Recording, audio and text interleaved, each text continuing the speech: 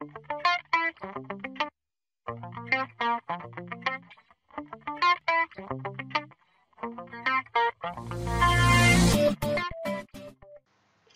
mừng các bạn đã quay trở lại với kênh kiến thức ha.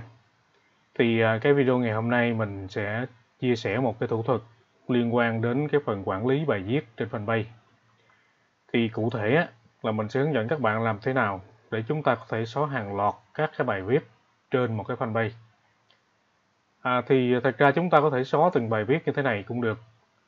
Tuy nhiên á, khi mà chúng ta xóa như thế này mà trường hợp giả sử chúng ta xóa hàng loạt bài ví dụ như cả trăm bài ở đây thì cái việc mà chúng ta chọn xóa một bài như thế này á, thì nó dẫn đến cái chuyện là rất là tốn thời gian.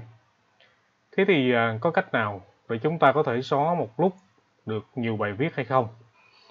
Thì à, các bạn sẽ xem cái cách mình làm ha bây giờ các bạn sẽ nhìn bên tay trái nó sẽ có một cái mục gọi là công cụ đăng. Thì à, cái công cụ đăng này á là cái chỗ để quản lý tất cả các cái bài viết ở trong một cái fanpage. Cái này mình đang hướng dẫn trên một cái fanpage ha chứ không phải là một cái trang cá nhân nha. Thì à, các bạn thấy nè facebook.com duyệt sau đó là tên trang sau đó là cái phần là public tool. Thì uh, chúng ta có thể thay thế một cái tên fanpage khác nếu mà các bạn đang sở hữu ha. Hoặc là chúng ta làm theo những cái bước mà mình vừa hướng dẫn, tức là chúng ta sẽ vào công cụ đăng. Thì lúc này các bạn thấy nó sẽ có một cái trang là bài viết đã đăng. Và lúc này á, chúng ta cứ việc kích chọn vào những cái bài mà chúng ta muốn xóa. Ví dụ ở đây có 100 bài thì các bạn có thể chọn 100 ha. Và lúc này các bạn có thể nhìn bên tay phải, nó sẽ có một cái mục là hành động. Chúng ta có thể bấm vào cái mũi tên chỗ này các bạn thấy là chúng ta có thể chọn chức năng là xóa đi. Ở đây nó ghi là xóa số 3 tức là có 3 bài viết ha. Chúng ta bấm vào. Lúc này nó sẽ hỏi chúng ta là có thực sự là muốn xóa cái bài viết này á, vĩnh viễn hay không? Thì các bạn sẽ kích vào cái nút xóa ha. Thì các bạn thấy bây giờ á, cái trang chúng ta nó chỉ còn có hai cái bài thôi. Thứ nhất là cái ảnh đại diện, thứ hai á là cái ảnh bìa thế thì bây giờ mình quay trở lại cái trang thông tin tuyển sinh 2021 của mình.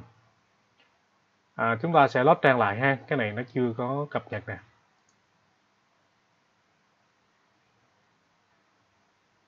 Thì các bạn thấy nó đã xóa mất rồi ha. Chỉ còn cánh bìa và cái ảnh đại diện thôi.